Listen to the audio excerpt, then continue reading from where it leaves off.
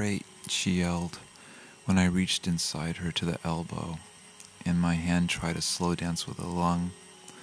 When her back ripped and sprayed us under the lightning of my belt as she crawled into the quicksand of my bed. When I choked her woozy, raised the toilet lid, and punched her face until she saw the necklace I'd given her. You know who you fucked. She's my wife, so what? Soon you will be me. If it's her, you so screwed. If not, she lies to you on top of everyone else. I'll tell you this, you're fucking evil if you did. She's so dead. If I want her ass again, I need to love it. If I don't want it enough to scare myself, then I don't. I broke her jaw. Yeah, I see that. Can't you comprehend? Yeah, I'll think about it. There's a guy who's just shit from his dad when he's expected to fuck what he loves, and I'm that shit.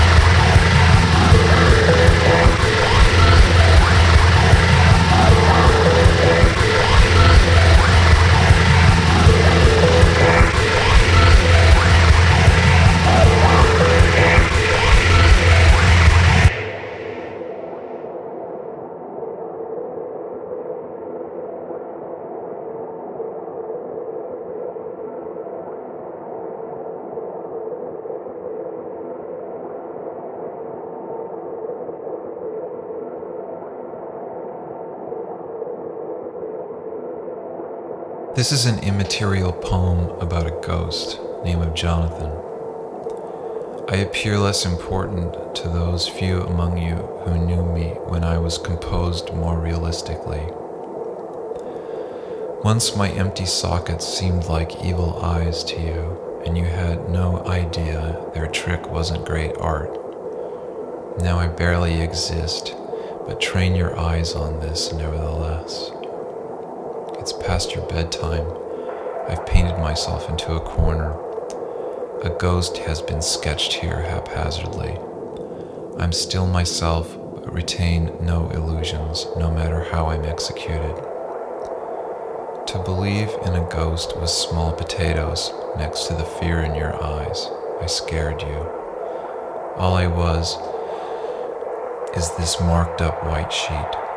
So I ask you again read into my black holes.